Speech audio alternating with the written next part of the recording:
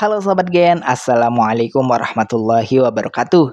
Di video kali ini kita akan membahas kunci jawaban biologi kelas 12 bab 2 pada sesi tugas tes pengetahuanmu pada halaman 154 sampai 155 di buku biologi kurikulum merdeka pegangan kalian. Jadi, ayo kita bahas bersama mengenai soal atau perintah yang ada di tugas kali ini, Gen. Tapi sebelum lanjut jangan lupa untuk subscribe ya Ken agar dengan sukses media lebih semangat lagi nemenin kalian nugasnya. Jika sudah, quick kita lanjut. Bagian berikut ini adalah perintah yang mesti kita kerjakan pada tugas tes pengetahuanmu kali ini. Perhatikan gambar peta silsilah berikut dengan cermat. Berdasarkan analisis pedigree tersebut, berikan tanda centang pada kolom benar atau salah untuk setiap pernyataan terkait kelainan menurut hemofilia dalam tabel berikut yang mana ada lima pernyataan yang perlu kita analisis kebenaran dan kesalahannya.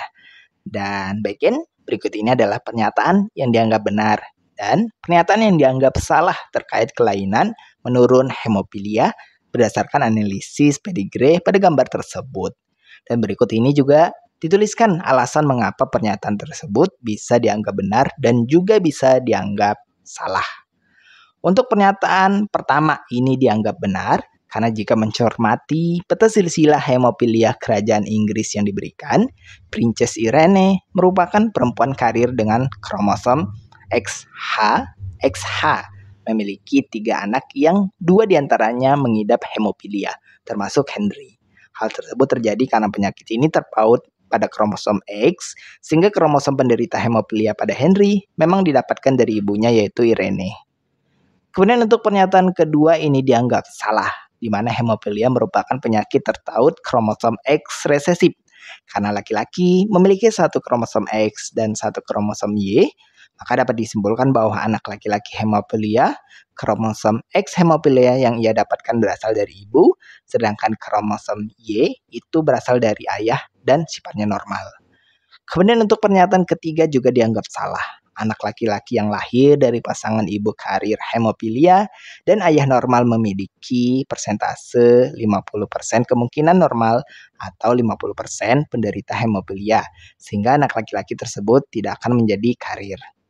Kemudian untuk pernyataan keempat juga dianggap salah di mana pernyataan bahwa hemofilia bersifat dominan adalah tidak benar Hemofilia bersifat resesif yang terpaut pada kromosom X sehingga seseorang perlu memiliki dua salinan gen yang bermutasi, salah satu dari ibu dan satu dari ayah untuk mengembangkan hemofilia.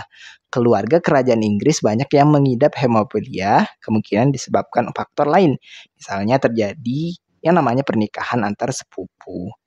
Kemudian untuk pernyataan kelima ini gen sukses sangat salah karena hemofilia adalah kondisi yang terkait dengan kromosom X dan secara umum lebih sering terjadi pada laki-laki. Meskipun ya perlu digarisbawahi ada kasus langka di mana perempuan dapat mengidap hemofilia jika mereka memiliki dua salinan gen bermutasi dan tidak memiliki salinan gen normal.